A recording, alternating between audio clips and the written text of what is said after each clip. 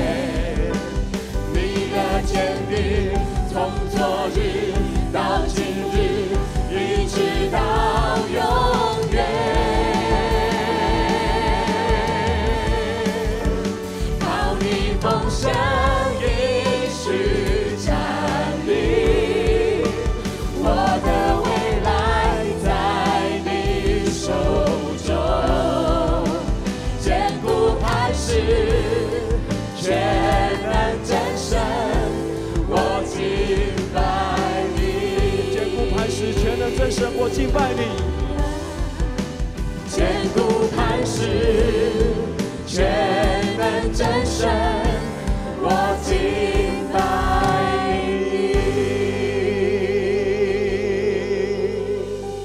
是的，靠你的丰盛应许，我们站立在你面前。主，你是我们坚固的磐石，全能的真神。主，让我们永远信靠你，因为你是我的主。主，你永远与我们同在。我们倚靠仰望，谢谢耶稣基督，听孩子的们感恩祷告，奉耶稣基督的名，阿门。在刚刚我们所听到的诗歌里面，我们用这首诗歌敬拜。这首诗歌提醒我们在危难当中，我们信靠上帝，因为他是我们的磐石。夏弟兄姐妹，在我们真实的生活里，每一次当问题出现的时候，我们第一个反应是什么？我们第一个反应是打电话寻求专业的资源，还是我们的第一个反应会赶紧跟上帝诉说我们生命内部的焦虑呢？我们的第一反应是最诚实的，我们立刻的反应、下意识的决定是要找人还是找上帝？我们知道上帝为我们预备许多的环境，那也是他工作的一部分。可是我们心中知道，我们真正依靠的是谁？在今天，我们要进入先知纳红他整个服饰的旅程之前，我要邀请弟兄姐妹能够有一个祷告，这个祷告就是帮助我们，不论在任何的环境里，我们都练习一件事：我们的第一反应，寻求我们的上帝；我们的第一盼望，转向我们的上帝；我们的第一个咨询的朋友，转向我们的上帝。我们同声同心为我们的内在的灵人祷告。我们求上帝帮助我们，不论在什么样的环境里，我们都转向他。我们一起来祷告。主啊，亲爱的主，谢谢你，谢谢你让我们每一个人在任何的环境当中，每一天我们都可以操练，我们可以操练转向自己，转向世界，转向朋友，还是转向你。主，每一次当操练的功课来临时，主啊，恳求你吸引我的心，让我能够马上的想到，单单的定睛你，专心的仰赖你。谢谢主，谢谢主。主，你是我们的依靠，是我们在患难中随时的帮助。主啊，这件事情要成为我们一生之久的操练，在顺境的时候，在逆境的时候，我们都如此的定睛在你的身上。求主你帮助我们，能够像是先知那红一样，在一个充满挑战、困顿的时局，他因为看见你，就了解你在整个世局变化当中你的心意。他的盼望不是来自于这个世界，他的盼望乃是来自于你。恳求你在今天透过那红对我们的生命说话，祷告奉耶稣基督的名求，阿门。在今天，我们要一同思想先知书关于这个小先知那红。在那红书里头，主要分成两个半段落。第一个部分在歌颂上帝的伟大，而第二个段落在谈论当时候一个巨大的帝国是亚述，它的首都尼尼微即将要陷落的光景。如果我们从当代历史学的研究来看，很多对历史的分析已经渐渐的不再谈宏大叙事。所谓的宏大叙事，就是谈大的历史，从一个朝代到一个朝代的历史，从一个国王到一个国王的历史。当代的历史学研究更多把焦点，因为口述历史的慢慢的蓬勃发展，这个研究法的兴起，会看到很多的历史往拜官野史、往人、往市井小民、往许多边缘人的眼光来集中，因为他们认为在大的历史脉络里，有很多关于君王的描述都是历史学家被皇室所收买，只能写跟国王有关，而且是正面好的事情。不论历史的发展如何改变，怎么样把焦点从充满了权力的痕迹那种大历史，转向市井小民的历史。人在看待历史，常常会有一种一代过去、一代兴起的无奈，看到自己的这一代即将过去，下一代即将起来的时候，可能会充满了忧伤；看到自己的国家即将败亡，看到别的国家敌国兴起，心里难免恐惧和害怕。先知那红面对的就是一个非常困顿、非常混乱的国际局势，在那样的困局当中，他的盼望在哪里？他的盼望在整个那红书的一开始。就让我们看见，在大历史变动的过程，他的盼望不是厉害的国家消灭不厉害的国家，不是他心中所渴望依靠的国家成为他们的支持，他乃是把眼光定睛在上帝的身上。如果那红书之前的弥迦书是谈历史里面社会国家里面的故事，那么我们说那红书则是站在更高的角度，从永恒的这一端出发。家弟兄姐妹，在我们面对我们的国家、社会和文化不断变动的时候，难免我们会焦虑，难免会有许多的恐惧、不确定感和害怕。不论我们身处在哪一个国家、哪一个社会文化里面，总是有许多不同的立场、不同的想法、不同的期待。先知那红提醒我们，许许多多的大历史都会过去。我们看一下，在第。一章的第十二节，这是那红书里面一个非常经典的一段话。耶和华如此说：尼尼维虽然势力充足，人数繁多，也被剪除，归于无有。犹大，我虽然使你受苦，却不再使你受苦。在这一段的经文里面，我们首先看到的是，那个强盛的尼尼微也会过去。不论我们过去历史里面读到的神圣罗马帝国，不论我们读到的什么呃蒙古大帝国，我们读到的大唐啊朝代，你看到一代过一代，一代过一代，没有哪一个地上的政权能够永远长存的，这些都会过去。难是难在我们就在历史的变动当中，我们常常眼光不知道看哪里。历史给了我们一个非常不好的逻辑。就是人必须要用武力来保护自己，用能力来捍卫自己。你知道这个世界正陷入一个军事竞赛的一个困局跟环境。如果没有足够强大的国家武力，人会觉得害怕和恐惧。于是乎，国家不断的购买各样各样的武器，哪一个国家都是这样。哪怕是最和平的瑞士，要确保自己的国防安全，也要有自我保护的能力。你看到吗？这是这样的一个世界，人害怕自己被欺负，只好把自己的肌肉锻炼得很有力量。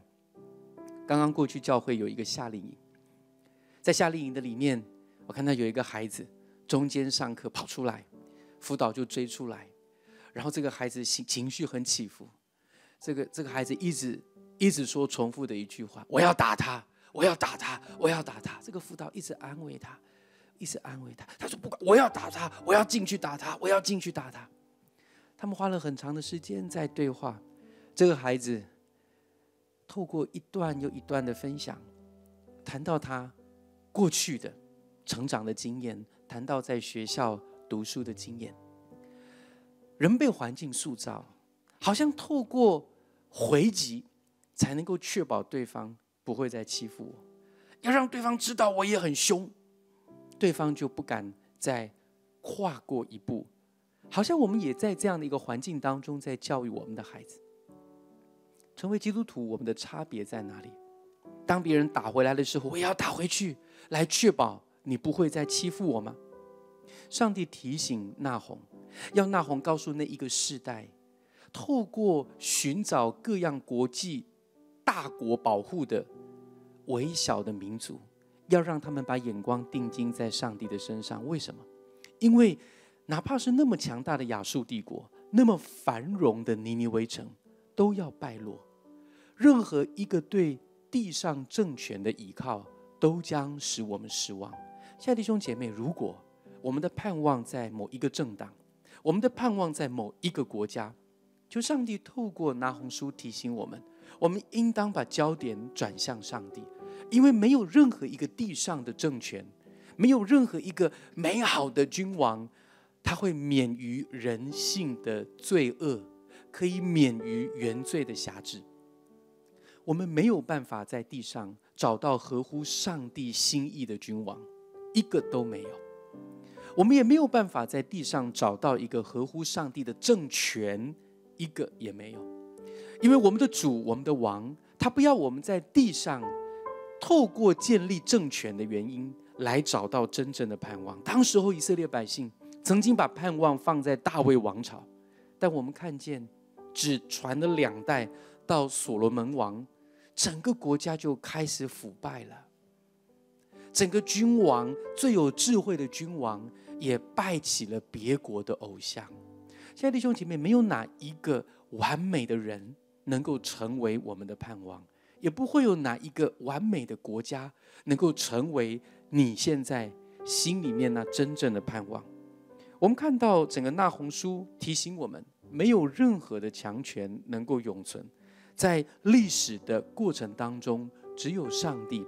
才是真正的掌权者。你相信上帝掌权吗？你相信上帝掌权在你的国家、你的社会、你的教会、你的家庭吗？哪怕是有许许多多的政治的权力起来，哪怕是看到某一个民族欺负另外一个民族，我们为此愤愤不平或惶惶不可终日，我们都要把眼光转向上帝。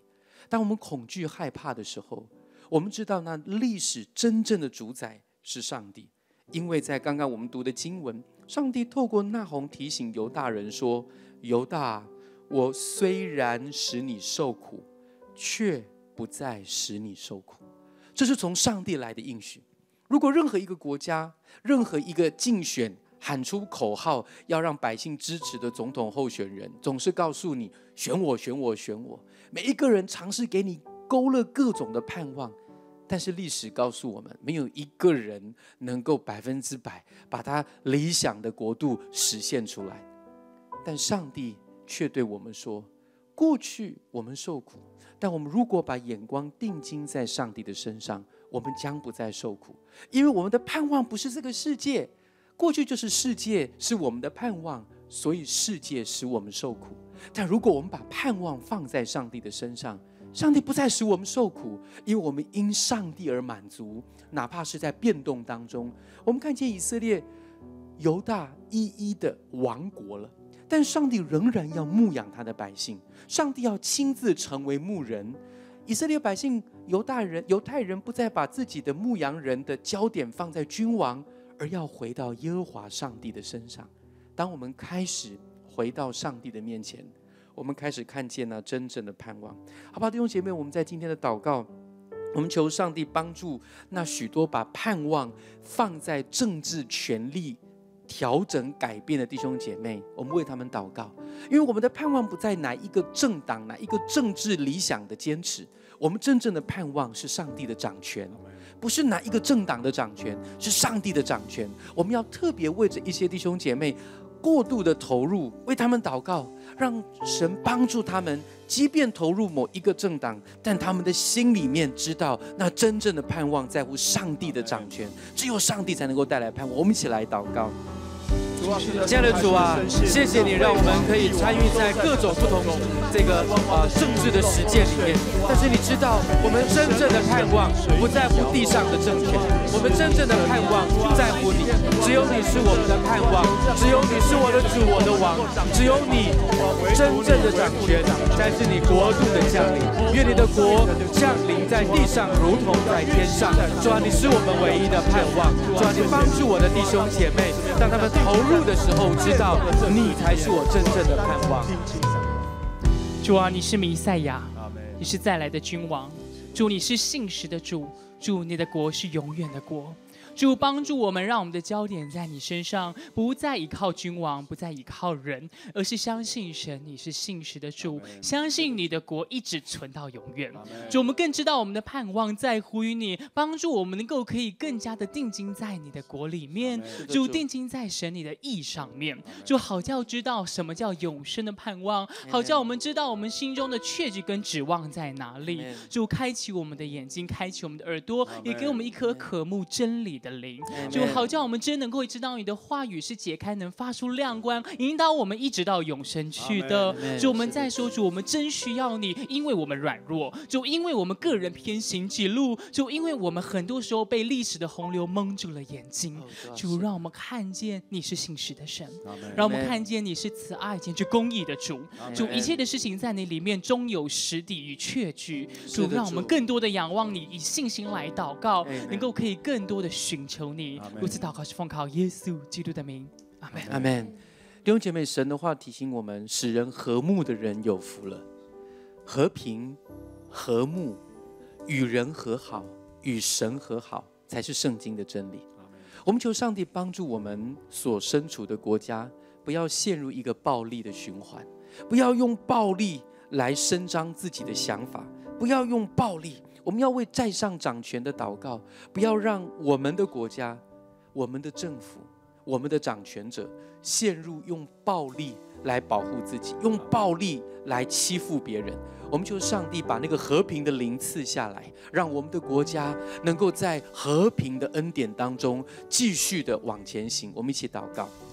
亲爱的主啊，你设立国家，不要让我们的国家成为一个陷入军事禁备的环境。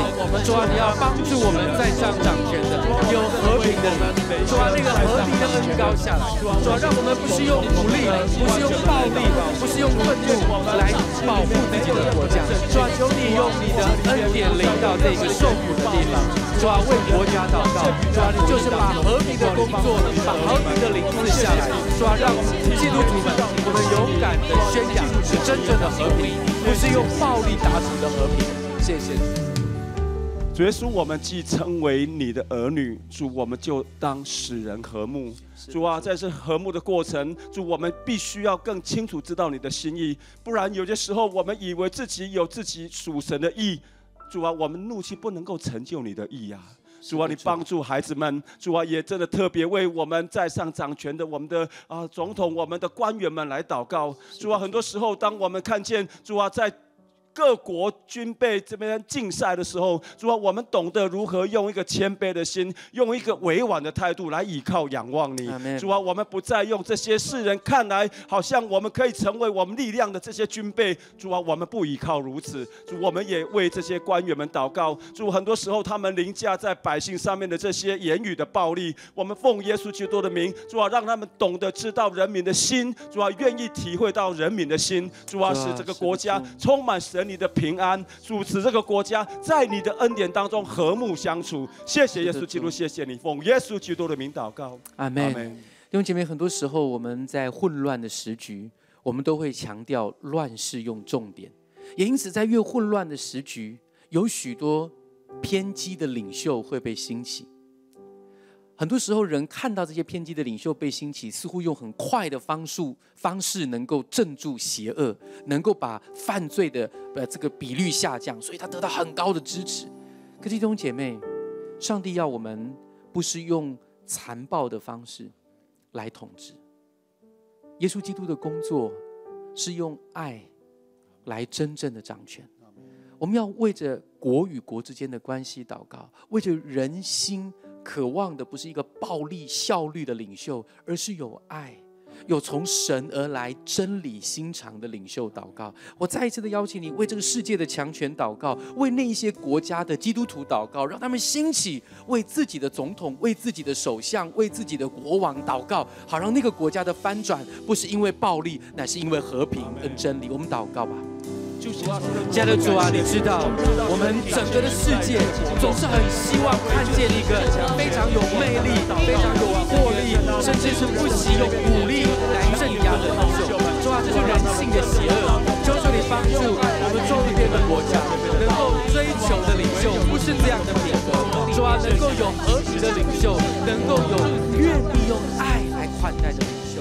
利路亚，主，我们知道，主啊，我们的国家若不是耶和华来建造，就建造的人枉然劳力。主啊，我们的家庭，我们的整个的社会，主啊，若不是耶和华来固守，就固守的人也是枉然警醒。愿你兴起更多更多的基督徒，帮助我们，就是站在这个破口上面，站在这关键的点上面，永不放弃的，继续的持守主你的真理，继续的为着我们的国家来祷告。愿这些领袖能够更多的明白，唯有你才是我们可以依靠的。谢谢。是的，主，我们要说你是我永远的主，你永远与我同在，我们的安稳在你的手中。谢谢主，奉耶稣的名，mm。